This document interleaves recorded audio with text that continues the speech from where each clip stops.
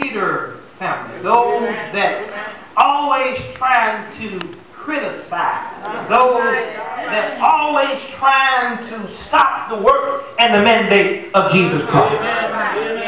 And so when Jesus spoke these powerful words back then, I would have you to know that the same words are just as powerful even as we speak.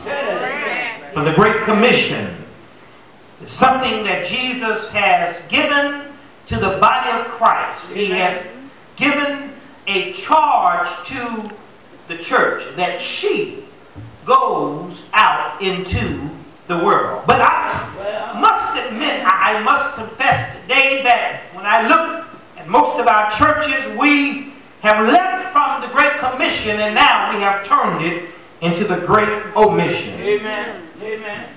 And when we say omission, it simply means that something is omitted. Something has been left out. Amen. Undone. Uh, neglected from the first initial challenge that Jesus gives to the church. Amen. Amen. And, and when you look at the statistics, it's very sad because it's relevant. When you look around, we find that those who are really out there on the streets that's ministering Well, a group of people that we call the Jehovah's Witnesses. Amen. Amen. They come and knock on your door. Yeah. They're doing their job. Yeah. They're trying to give you the watchtower. Yeah. They're faithful in their job. And I must applaud them for being faithful Well, to that which they believe. So what does it say to the missionary church? Well, We who are members of the missionary Baptist church. amen.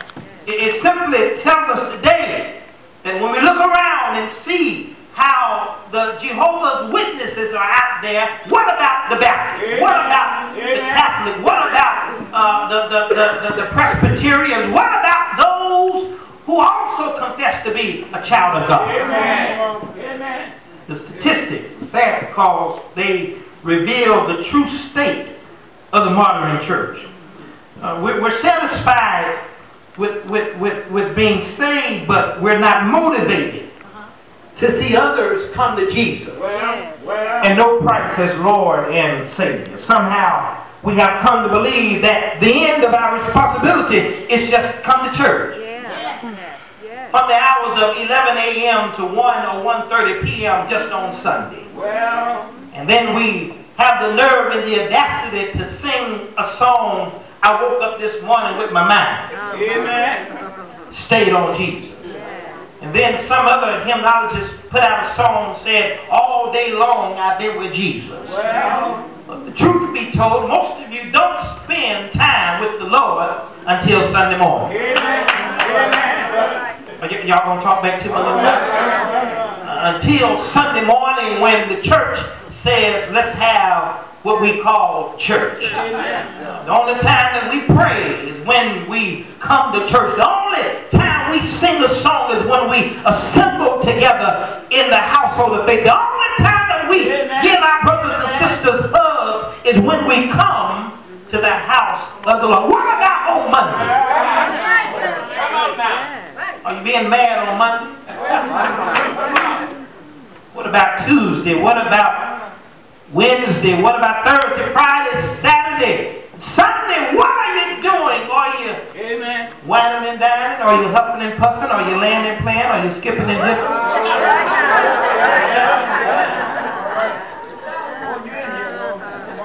Seems like Sunday is the day that people just want to get just religious. Get holy. Amen. We pastor uh, Zone Pulaski 817, and it's a very busy street. I've witnessed people who were coming down the sidewalk on Sunday who were smoking on Keisha. Skunk grow. Pop. Amen. They will put it out before they come past the church. But yet I can get a little deeper than that. A cigarette.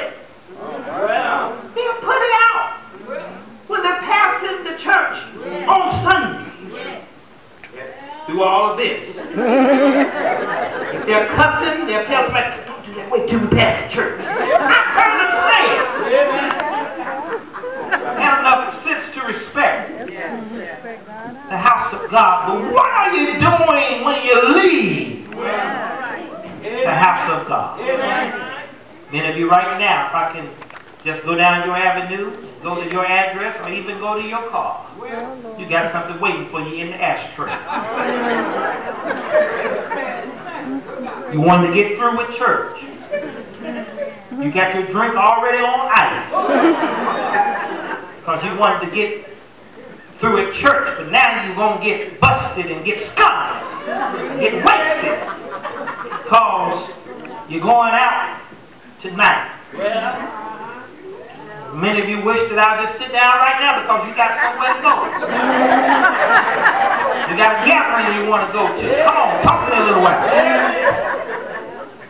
But when we look at this mandate that has been given to us by Christ, well, he tells us in verse number 19, this chapter, he simply starts off with a two-letter word that says go.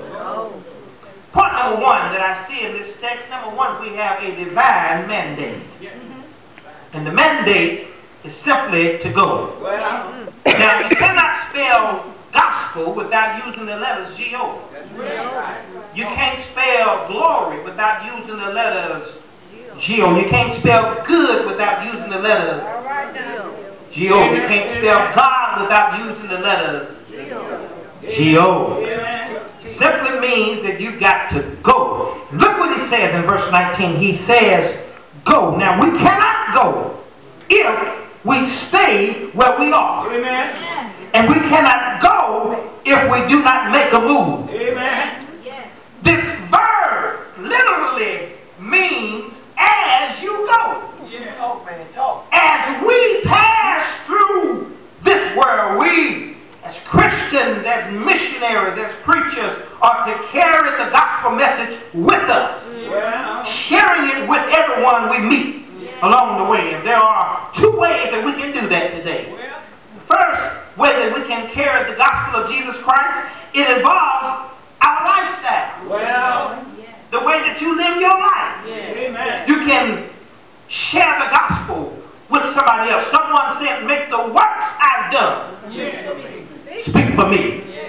Yeah, yeah. May, may the life I live Yeah. speak for me when I'm resting in my grave and nothing else can be said. Let the works I've done speak for me. We can share the glory of God, the gospel of Christ in our own lifestyle. It involves our lifestyle, but not only does it involve our lifestyle, but it involves our lips. Amen.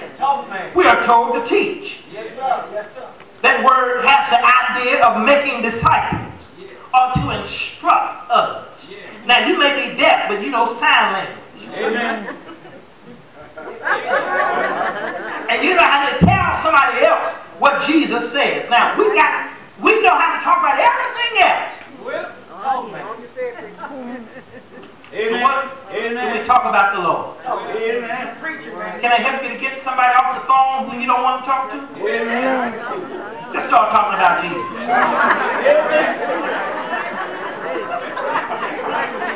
If you start talking about the Lord, they start making up all kinds of stuff. Girl, I got to go. Man, I got to get, I got to pick up the wife. I got to pick up the kids. I got to do something. But but I come to tell you that that that we as children of God, it involves our lifestyle. It involves our lips. And when He saved us, He told us to go. Amen. Go, go, go, go, It's not good enough to just show it, but we must also say it. Amen. We've got to tell men, women, boys, and girls to simply go. Go when they don't want to hear you. Go when you don't have enough funds in your pocket. Go. Tell somebody. Instead of sending up an email, send up an email and go. When you get home, when you get out of service, many of you right now you're on Facebook, you're on Instagram. Why don't tell them go tell somebody about Jesus? Take a picture of the word. You take a picture of what you eat, what you're drinking. Why not take a picture of the book of God, the Bible, and tell them the pastor is preaching about going into the world? Is it the Great Commission or is it the Great Omission? How would you do that, Pastor Raven, with our lifestyle, then with our lips? Well, watch it, man. Sisters and brothers, we have not only a divine mandate, second of all, we have a divine message. Watch it, man. It's in the text in verse number 20. I hear you. Look what it says. He says, teaching them to observe all things. Amen. It's in your Bible if you ain't torn it out. Amen. Whatsoever I have commanded you. Yes, hmm. yes, yes. Yeah, yeah, yeah, yeah. He, he tells his followers to share a specific message to observe all things. Amen. Whatsoever I have commanded you. As we go and as we tell the world about Jesus, the message we are to share is very clear. That's all we have. Yes, It's very vivid. yes. Ray Charles can see it and Stevie wouldn't have to wonder. He says when we go, share the gospel. Yes, yes. It's Amen. simple. Amen. It's simple. He says share the gospel. Amen. Amen. And that's good news because our message is simply this. For I delivered unto you, mm-hmm. first of all, that which I also received. Ah. How that Christ, mm-hmm. Right. Come on now. Christos, Yeah. Come on. Christ, Right. The little of that, Amen. Christ, Uh-huh. bright morning star, Christ, grandma's walking cane, the glory, Christ, bridge over troubled waters, oh, Christ, bread in the starving land, Christ, water in dry places, Christ, Hallelujah. All right. then somebody's mother, then somebody's father, Christ. He says how that Christ died for our sin. Amen. According to the scriptures, and that he was buried, Amen. and that he rose again Yes, he did. the third day, Yes. according to the scriptures. Amen. Uh, brothers and sisters, sharing the gospel message is as easy as telling lost people what Jesus did for you. And not only what he did for you, but what he can do for you. Because somebody here can testify to the fact that it is no secret what God can do, what he's done for others. Tell somebody he'll do the same thing just for you. It's that simple. Come here, boy. It's that powerful message that the world has ever heard, and that it is a message that must be delivered to a lost world, to a paralyzed population, to a crippled community, to a nasty nation, to a trashy, trashy, trashy people. He tells us to go out. Got work to do, mission. Well, well. glad that you said missionary. Come on, man. And that you didn't say stationary. Amen. Yeah, uh, yeah, yeah. That, that means missionary means to go. It means that you're active. It means that you're vibrant. But many of us have turned from missionary and now we're stationary. We sing that song, I ain't gonna let nobody turn me around. I know it. We sing that song, I shall not, I shall not be moved. I know you ain't going nowhere.